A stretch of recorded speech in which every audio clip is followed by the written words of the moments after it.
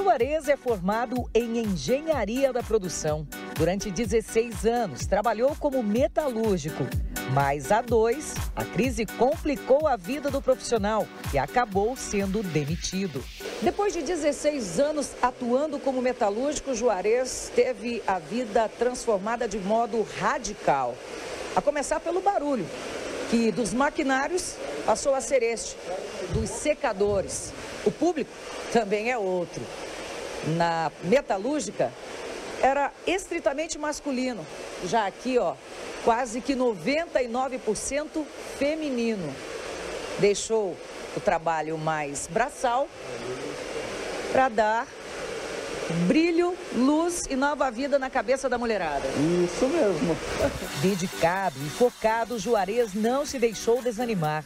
Transformou a demissão em oportunidade. E logo no primeiro dia desempregado, se inscreveu em um curso de cabeleireiro. Eu já vinha pensando em mudar de profissão, já vinha estritamente pensando em ser cabeleireiro. Quando eles demitiram, eu só peguei falei, não, vou lá na escola fazer o curso, me matricular e fazer o curso. Já vim direto aqui para a escola fazer a matrícula e praticamente não deu cinco dias eu já estava em curso aqui na escola. Fiz todos os cursos, né? Comecei desde o início, lavatório, escova, igual eles estão fazendo hoje, corte, química, todos os cursos e daí veio a oportunidade de ser professor Daí sim eu comecei a me aperfeiçoar. A partir daí, não parou mais. Se dedicou, aprendeu tanto que em apenas seis meses passou de aluno a professor e no mesmo lugar onde se formou. Como vai ser a raiz, vai ser com volume, pode pegar bem por baixo também, ó. O curso de hoje é sobre técnicas de escovação. Juarez segue assim, ó, de um lado para o outro, dá uma orientação aqui e outra ali para os alunos. Ele só para um pouco mesmo para nos dar entrevista. Já os secadores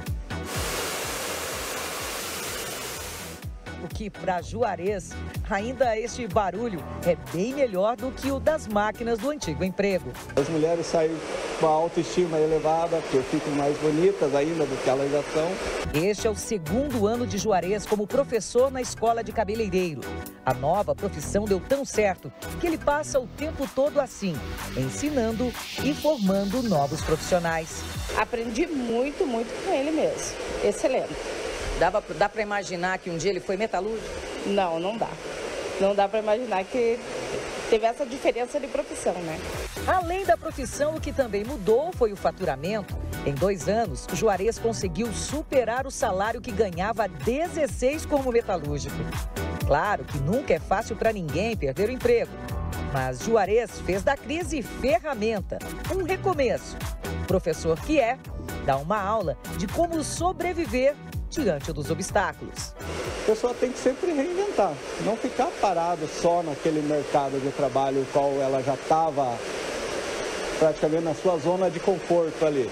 Então tem que se reinventar e procurar novos desafios.